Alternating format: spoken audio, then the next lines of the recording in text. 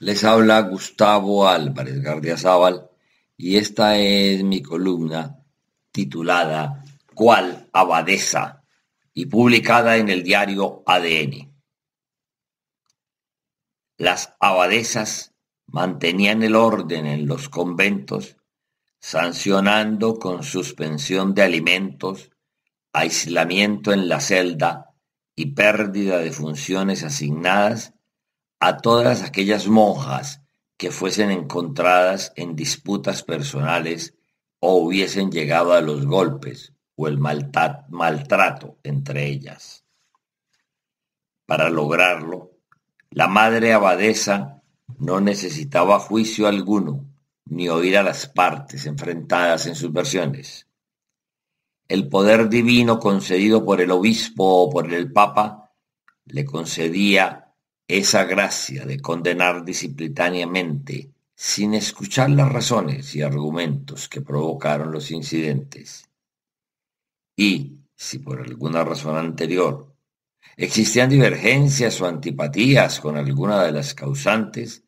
la suspensión, el aislamiento y la pérdida de funciones era más fulminante y evidenciaba la venganza. Setecientos años después, en Colombia, el procurador Carrillo ha actuado cual la madre abadesa en el caso del alcalde de Bucaramanga y con una celeridad infinitamente sospechosa lo suspendió hizo facto en el ejercicio del cargo por haberle pegado a un concejal mientras discutían,